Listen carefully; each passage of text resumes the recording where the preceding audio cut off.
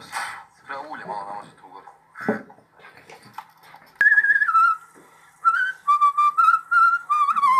Šta smrdi? Ma tu nešto smrdi konstantno, ima tu nešto 100%. Koji kurac, ovdje nešto smrdi, već se usro neko, šta je ovo? Nije nekom jaje ispalo.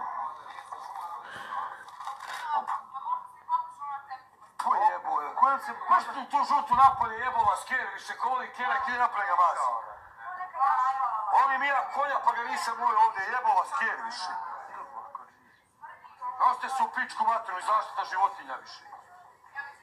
Pa iz kurcom ovog ventilacije smrdi ovdje ustrala, supšala se 100%. Nije bre, Derice džaba, šta je to? A koji će kjer kurac unutra? Dobro, ali nije sad to došlo drugu temu.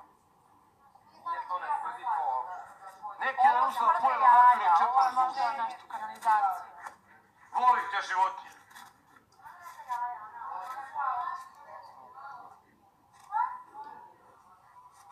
Volim ja životinje, jedan da... Ovo je ventilacija, Baš to u ono smrdi. Kada ustrala. Da, ajde penje nam, mora i nekad se to Ovo je ventilacija.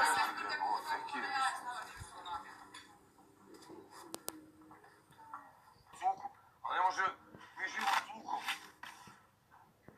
Ova se ne kupa, smrdi pola kuće. Gdje je sere piša? Da.